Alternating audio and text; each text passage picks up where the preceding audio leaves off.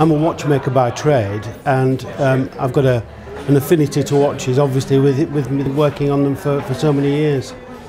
I've actually retired from the company, although I'm still very, very interested. My name's still above the door. Um, my, my, my son is a managing director, as well as my brother and my daughter's in the business. Very much a family business, uh, as, um, as, as we are as a, as a company. Uh, uh, over 43 years, I think, now in business. We came to Harrogate because we've wanted to be in Harrogate for some time. James Street was where we wanted to be, and, and fortunately, this store came along and the site was perfect for us. We offer a, a range of, of high quality jewellery manufactured mostly by ourselves and we're delighted to, to be in this vicinity to offer the service we can to the people of Harrogate.